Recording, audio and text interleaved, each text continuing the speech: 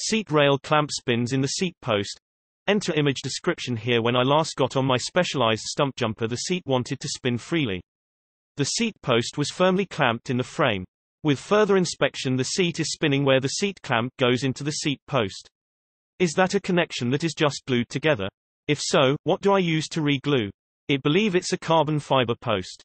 The image below is not from my bike, but does show that junction where it spins. Any help would be appreciated.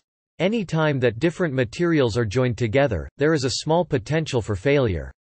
I emphasize that if the manufacturer knows what they're doing, the probability is small. However, if I understand the op correctly, they may be one of the unlucky few.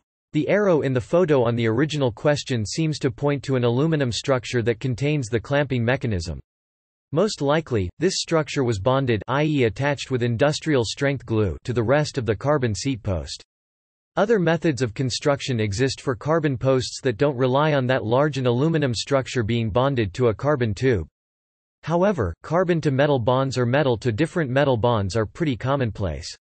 For example, many current generation cranksets have a steel or aluminum spindle bonded to aluminum or carbon crankarms. Carbon frames sometimes have aluminum bottom bracket inserts bonded to them.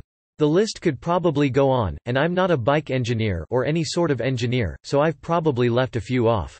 Nevertheless, if I understood the question correctly, the op probably has a seat post where an aluminum insert has unbonded from a carbon tube.